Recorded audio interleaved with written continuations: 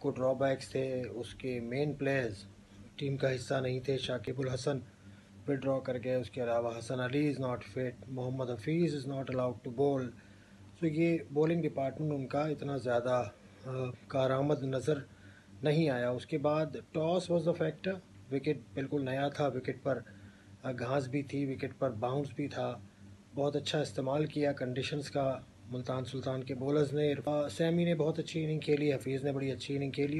Respectable total دینے میں کامیاب ہوئے۔ اس کے بعد ملتان سلطانز کی ٹیم میں سمجھتا ہوں کہ شاور زلمی کی بولنگ کے خلاف ان کے ایکسپیرنس نے کامیابی دلائی ہے۔ ٹاپ آرڈر میں Sangakkara played brilliantly four fifty seven and then Shoaib Malik اور پولارڈ نے کیلکولیٹڈ اننگز کے لیے ایک موقع پر دس سے زیادہ رن ریٹ چاہیے تھا، لیکن جس طرح سے دونوں نے بیٹنگ کی ہے اس سے پتہ لگتا ہے کہ ایکسپیرنس کا کوئی نیم البدل نہیں۔ تو ایکسپیرنس کی بنیاد پر میں سمجھتا ہوں کہ ملتان سلطانز نے کامیابی حاصل کی۔ اچھی ہے ان کی کانفیڈنس کے لیے۔